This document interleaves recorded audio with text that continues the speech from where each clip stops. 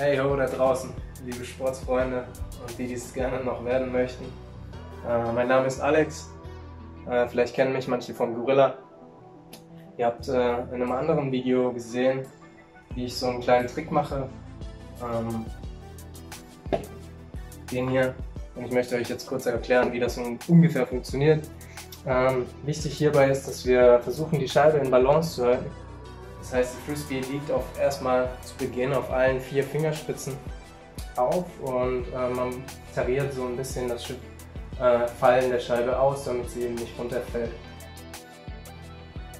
Wichtig hierbei ist, dass der Zeigefinger ungefähr auf 6 Uhr ist, das heißt zentral, und die anderen Finger seitlich angebracht sind. Die sind dann sozusagen zuständig für diese leichte Drehbewegung, die wir erzeugen möchten. In, in diesem Fall ist es bei mir der Ringfinger, der sie leicht anschubbt. Also er geht hier unten ran und drückt sie Richtung Körper, was dann zu so einer Linksdrehung führt. Ähm, ich mache das einmal kurz vor.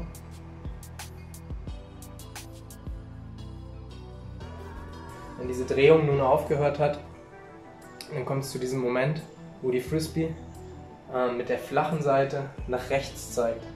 Das heißt, äh, das ist der Moment, wo ich ähm, versuche in die Scheibe reinzukommen, in den Rand ähm, und sie einmal hoch,